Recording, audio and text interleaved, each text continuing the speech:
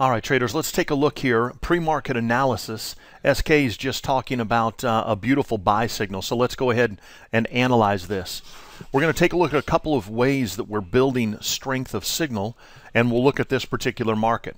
First and foremost, I want you to focus in on this level right down here. Now, we've got a DSR level there. I don't have the DSR levels applied to this area, but we've got DSR majors down here around the 103 handle.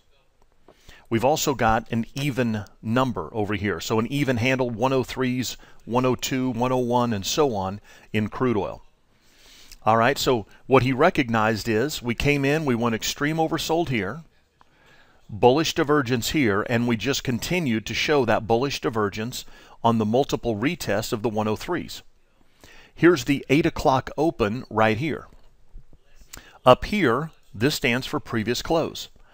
So on my range trader, I've got the previous close identified here. So we know that the market has gapped open, so the go trade is present. We gapped lower. So in order for the market to fill the gap, the market needs to rally. So when we look for the buy signal, just like we looked at last week in the S&P 500, in order for the market to fill the gap, the market has to rally so the gap trade gets an SOS 1. We went oversold, SOS 2. We did bullish divergence, SOS 3. So that's an SOS 3 trade right there. So he's already hit his 18 tick target, so he's got 180 in the bank, and now he's trailing stops as the market rallies to go fill that gap. And remember, we talked about this in prior sessions. This gap typically fills 90% of the gap value of the gap.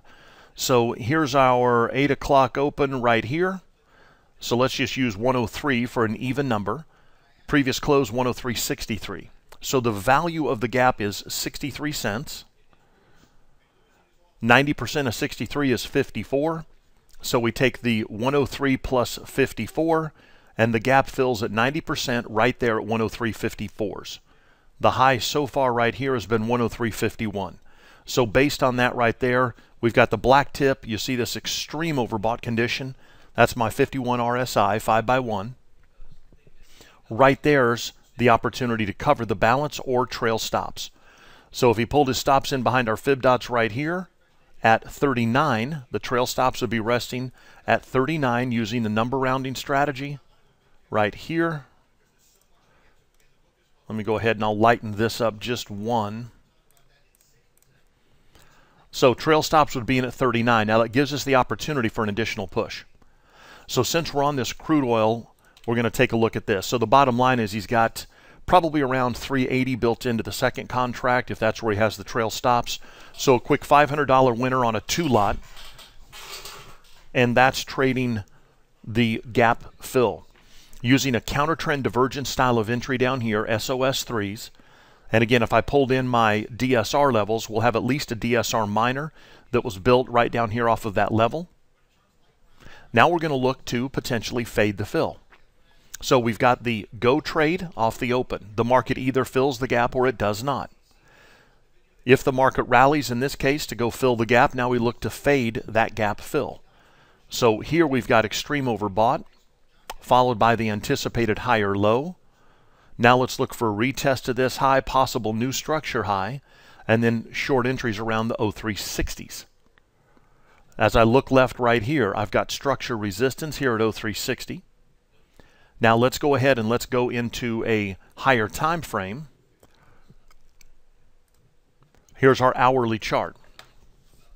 So last week we talked about this beautiful symmetry. Okay, so we took the S&P 500 right here, and we looked at the impulse move down to 1830s. That's the A to B leg. We then watched the B to C leg form back to 1869.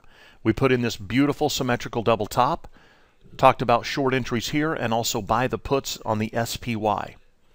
Rolled over here, we did an aggressive first test. This was the left side.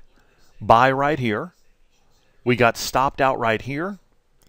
And then as we declined here, we projected that the value of this A to B leg would present itself again right here in the C to D leg called one-to-one measured move.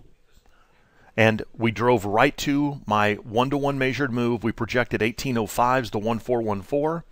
This is one piece of technical data. We had our AB equals CD right here, or a symmetrical or measured move. That was our second piece of technical data. Now we've got a DSR major that's formed down here. I've got my fish alert where we look to bottom fish, my black tip, all of that present. So from there, now we might anticipate the value of this last rally could present itself again right here. Again, we're watching market symmetry. So we're looking left right here, S&Ps. We talked about that 1830 to 32 handle right here on the shorts. As we look to retest right there, we only made it to 28. We still had a qualified sell signal intraday. Retested it again right here, 1 o'clock prior session. And again, now we're overbought bearish divergence right here on our hourly chart. So good low risk short entries right here. Stops have to go at about 35 quarter. All right, so let's pull in crude oil.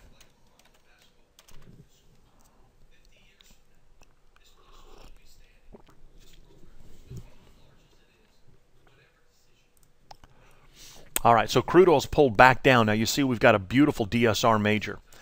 I dropped in this horizontal line. We did the analysis the other day at that 104.50 to 460 area. Didn't quite get to the 460s.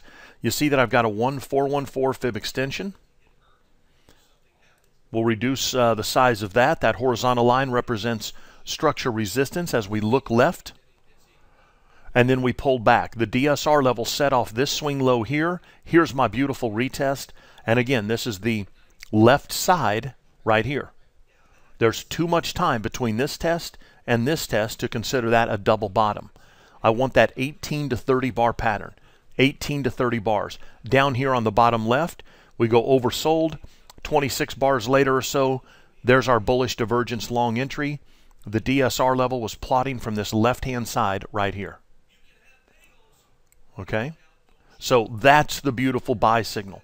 From the $99 crude oil, A, buy USO calls. B, those of you that trade the futures contracts, buy the futures contract. And then again, if it's a swing trade overnight, remember your margin increases about threefold over intraday margin. So if I can day trade a contract in crude oil for 700, it's going to cost me 2500 maybe $3,500 to hold that position overnight.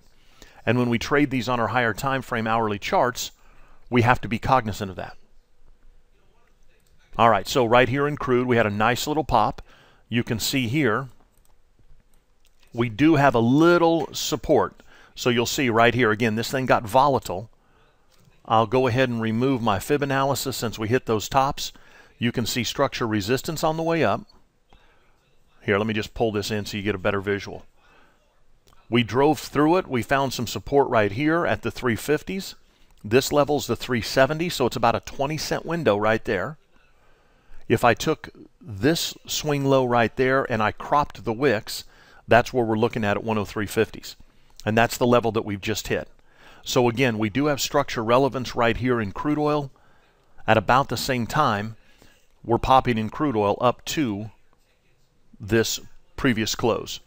So this 103.50, 103.60 area is great. Okay, thank you. All right, so great trade. Uh, let me see. SK said he covered the balance there at 103.40. So, C gang, we use the turning point black tip. Remember, right there's our two bar cluster trade. The turning point followed immediately by the black tip, and then we talked about buy next bar market. So if all you did was looked at your cluster two signals, especially on our swing trades, our higher time frames. So if I bought the next bar market, I get long at about 316. My stop has to go below that swing low. So you see that's 15 cents. We always use a initial stop loss of around 18 cents in crude oil. Okay, so if I risked 18, I didn't get stopped. The market moved 15 cents against me. And then over here is where the 15 tick or 18 tick target was hit. As long as it goes one tick through our price, we record that as a winner. Limit orders are guaranteed to fill. Okay, and then he took the balance off as the market hit this black tip right here with this extreme RSI. He covered the balance on the pullback, got filled right there at 40s.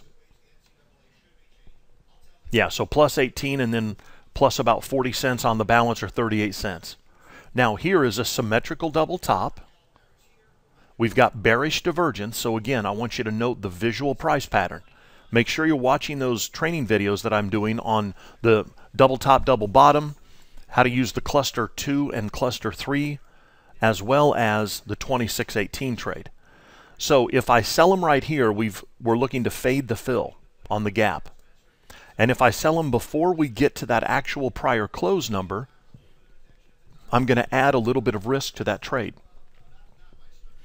If I wait, however, for it to go to the previous close, knowing that we filled 92% of the gap or so, I might miss the signal. So again, this is where your trading plan becomes incredibly important. In your trading plan, you either do or do not sell at the prior close. If we're going to sell the previous close or fade the gap fill, then we can create a range that sets around that previous close. So in crude oil, as an example, we might say that I'm going to sell the previous close plus or minus five ticks. So we take the value of the previous close at 63, subtract five ticks, that's 58. The value of the previous close plus five ticks would be 68. So that creates a little five tick window on either side or a 10 tick window total. Because obviously the market doesn't always just go right to the previous close and then stop. If you do not quantify it that way and put that into your trading plan, then what you're more likely to do is if, if this one rolls over as an example, there's my black tip again. If I get a turning point on this one, that'll be a three bar cluster, overbought bearish divergence if I don't take this trade because it didn't hit the previous close, and the market now rolls over and comes all the way back down to the 03 handle, the current range low and this massive structure support zone, then I just missed that $500 plus winner. Obviously, if I miss that winner, that feels like pain to me. So now I might be a little bit cautious about that. Okay? So the pain of that missed opportunity and that missed profit puts me in a position where I say, you know what? I'm going to start selling these lower. I can't believe I just missed $500, all because I just didn't sell them right here when I got my signal. So then gradually I start selling them lower, lower, lower.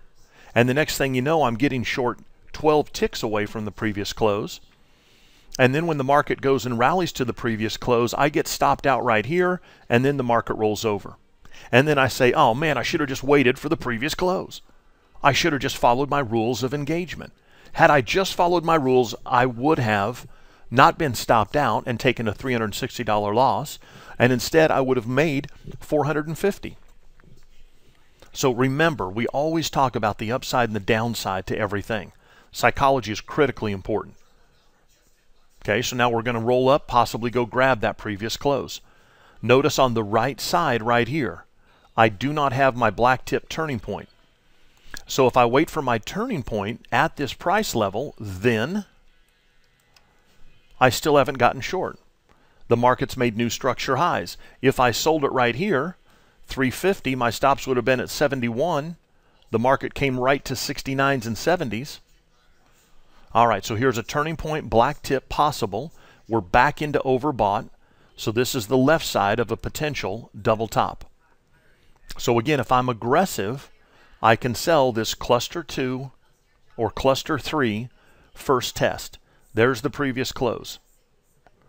If I'm not, I have to wait for this area to hold.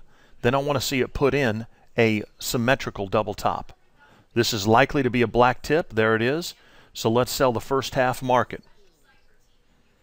Now from the 363s, plus 10 is 73, plus another 8 is 81. There's an 18 tick stop. Yeah, I'm going to let this one run. Now we'll see if we pull back right here and then put in a double top. Now obviously it doesn't mean that the market's going to stop there. We could easily blow right through this area. But we also know that this level represents a price point right here as you look left right here, these spike highs came in at 76. Okay, so it gives the market the opportunity to go and test the swing highs here from the afternoon session about five days ago, four days ago. And this could be a bit of a head and shoulders top. Here's my left shoulder, neckline. I've got a symmetrical double top on the head, neckline, and then potentially a right shoulder over here. All right, let's come back over here. Keep our eye on this on the bottom right-hand side. Okay, so go trade worked. Beautiful buy signal. Plus 4 to 500 there based on your position sizing. And now here's fade the fill. So gap fill, fade the fill. Gap fill, fade the fill. Gap fill, fade the fill. And I found some uh, training uh, from a couple of years ago, the go trade on a five-minute chart. I produced that last, last night, so Traders, I'll get that up so you can watch that. 1500 tick S&P up here, top left-hand side. Let's drop our DSR levels in. I'm pretty sure we're at a uh, significant price point up there. We're going to put in a 6,000 tick DSR levels.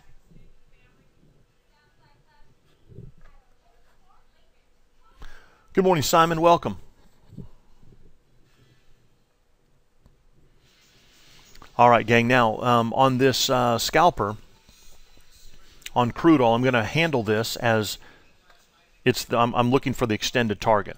Okay, so we'll go ahead. Those of you that trade a two lot, we'll look at the um, 18 tick target. Okay, so I'm going to pull this down. 63. We need to see. 43 would be 20. So there's our 18 tick target right there in blue. Okay, so imagine we've got a limit order resting at 46. I'll go ahead and drop in a sell limit up here to add the other piece on a retest to the current highs. All right, mini Russell, top right hand side, we've gapped higher. Okay, so I'm going to tighten this down. Look left, you see that we have a beautiful ratio sell signal right here. Fibonacci retracement, we go from the swing high to this new structure low. Fibonacci extension from the swing low, impulse high, and you see we got a beautiful point of confluence right there. So we put in a double top right here at the 1 or 1123s. We go impulse, new structure low, retrace, extend, project. Look at this bad boy falling off right now to come down and fill that gap. Now we've got structure right here. Okay, so basically here's 1110s, 1110 to 1111 right here, a one point move. And we've got all of this down here right where that go trade is going to fill. So we'll watch fade the fill right there.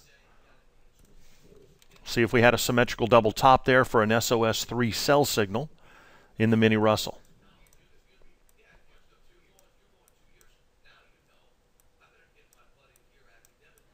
Yeah, so see, gang, not a real clear signal. We got the black tip right here. Okay, I've got my turning point resting behind that. This is more of a V top. We saw this press, and then we just go stop. So that's a hit and run type of signal. Now we're coming down. We're going to fill that gap. Let's see if we get buy signals right here around the 1110 handle. S&P over here, top left-hand side, 1811. Okay, here's our previous close right here at 25. So about a five point gap there, nothing real significant.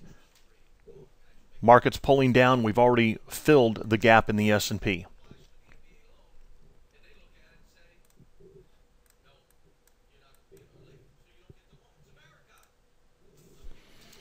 Yeah, let's take the uh, NASDAQ down to a 233 tick here real quickly.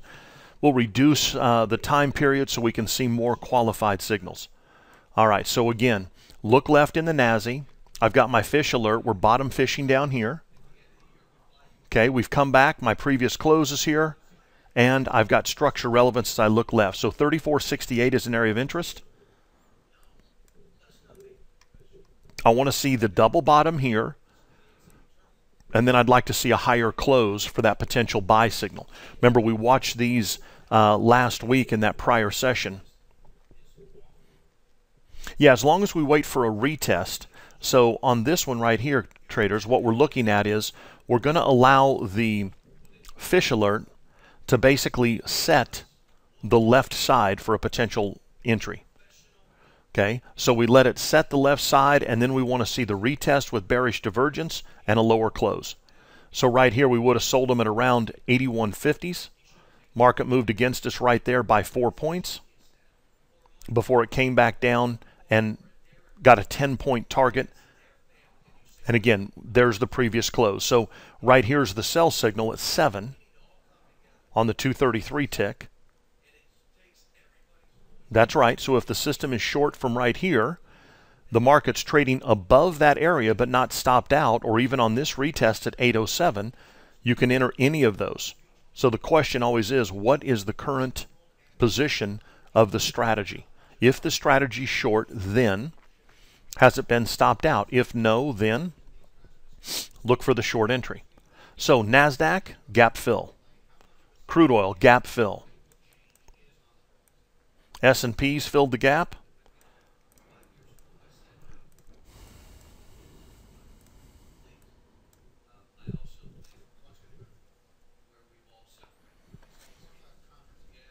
All right, now let's take a look over here. Let's pop through a couple of these. So nice area again there in crude oil. Uh, let's look at NASI. Okay, so NASDAQ, we have this massive level coming in here, 3493s. That's the spike high. If we crop the wicks, we got close to that at the 3485s. So you see again, that 3485 handle held this morning. Beautiful qualified sell. So when I do my higher time frame analysis, I see that I've got key price points there at 34.85. We've come back to fill the gap. If we take out the 34.65s intraday, then let's look for the press back here.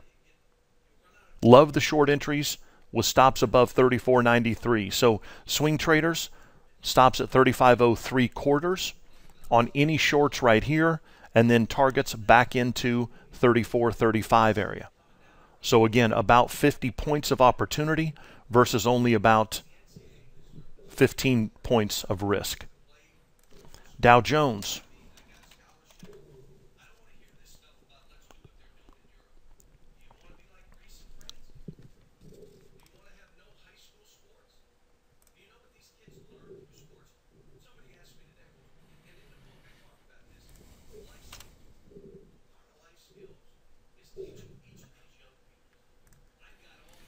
Yeah, and then Bob just popped out here. We've got a, I'm reloading my data here. Let's go take a look. TF. So he's looking for the 2618 trade. So remember, gang, the 2618 starts with a symmetrical double top or double bottom. Then we have to see a move through the previous swing. So again, here we're buried oversold. We've got a turning point black tip. So we just made a lower low, lower close. Again, I want you to note, see this area right here, 1110, we have to put stops below the swing lows right there if we get long. So right there is a beautiful buy signal. I'll put partials out.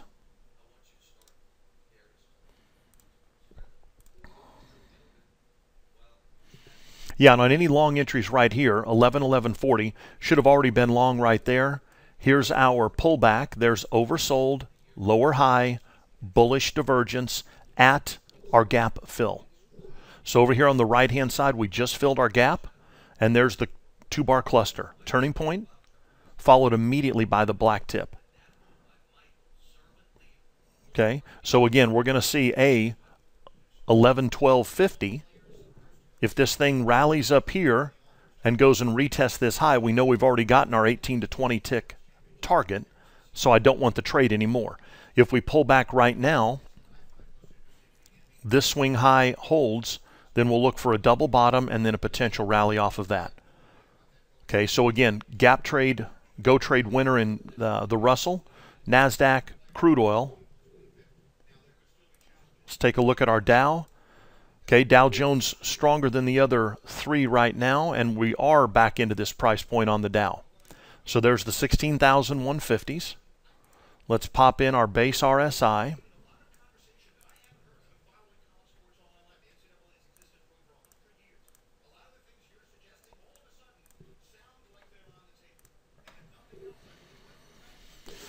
And let's take our ATR, move it to the bottom. So we'll move that to panel 3. We'll put our RSI, panel 2.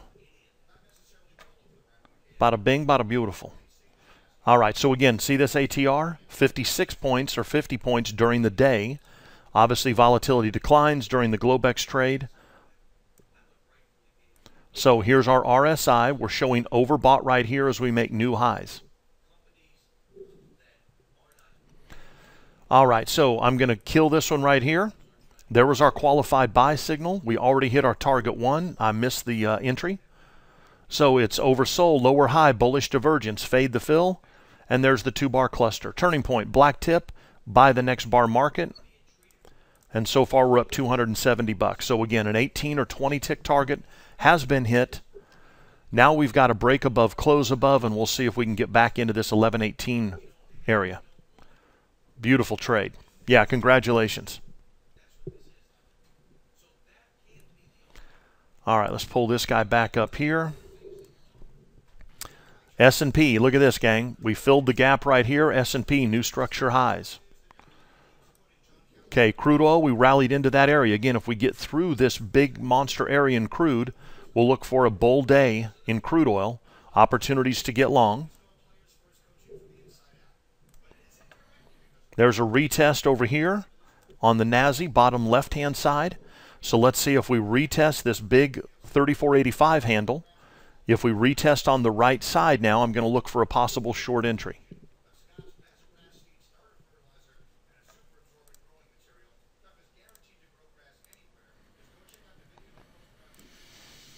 Yeah, now remember, I did an adverse excursion over here on the uh, crude oil. So if this guy pulls back down here, I'll take partials at 56. We'll pull the uh, scalper out. And then if we break structure, we'll look for a run back to the 103 handle there on crude. Yeah, beautiful trade. Now, we've got overbought bearish divergence up here, top right on the Russell. Now off to new structure highs. So you can trail these based on swings yeah, here's an aggressive sell, top right hand or bottom left hand side in NASI. And there we go. New structure highs. S&P new highs. NASDAQ now off to new highs. Yeah, so just beautiful long entries, gang. Look at the Russell over here. Okay, DST owners trailing your stops right there. You see now we went extreme overbought. There's our turning point, and we're back into that previous structure resistance zone. So several options. A, cover. B, trail stops aggressively. C, look for a possible sell signal. S&P's broken to new structure highs, and we're back into that 1832 handle.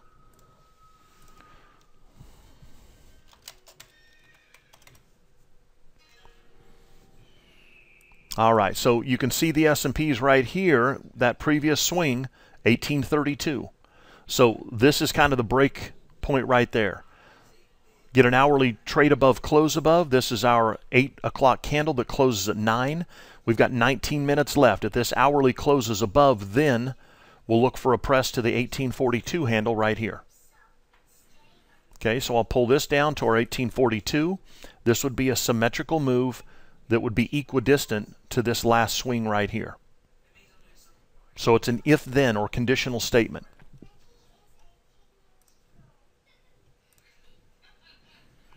S&P new highs. Yeah, you can add the fib dots. Let's go ahead and add our uh, fib dots over here. Fib dots, let's use our classic 2618. I'll turn the sound off right there. And let's go uh, bearish, black, bullish.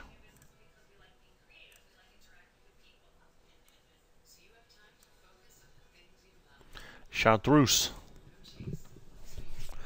Yeah, typically use your fib dots plus or minus two ticks. So here is our buy signal down there. There's the SOS4 buy with a cluster 2 on the right side. Okay, target 1 attained plus 180 or 200. If you're using an 18 or a 20 tick target. And then your stops right now would be at the fib dots minus 2 ticks. So 11, 16, 30 right now. 11, 16, 40 right now. S&P new highs. There we go. NASDAQ new highs. Beautiful trades, gang. Congratulations. Couple of you reporting that you did the the gap trade and then the fade the fill. So again, already over $1,000 this morning if you just did two markets. And again, it's these types of days that will set you up for the entire week.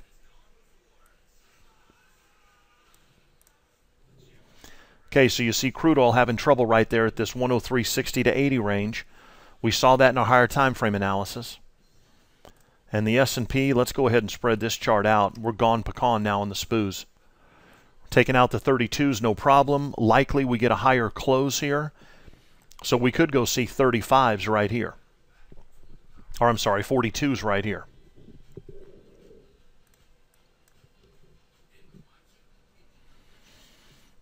Okay, so top right hand side, 11 1670 minus 2 is 1650 number round down, so you're at 1640 on your trail stops. Long entries down here around 1240, so that's another 400 bucks on the second, 550 to 600 dollars on that if you get stopped out right here. All right, now bottom left, again, everything's in context. My fish alert sets up the left side. Here's the right side. I've got no DSR levels. I've got nothing here. We've taken out our 85 handle. Now let's see if we get this to, to a new structure low, then a favorable excursion sell right over here. All right, Russell traders, beautiful trade. All flat in the Russell.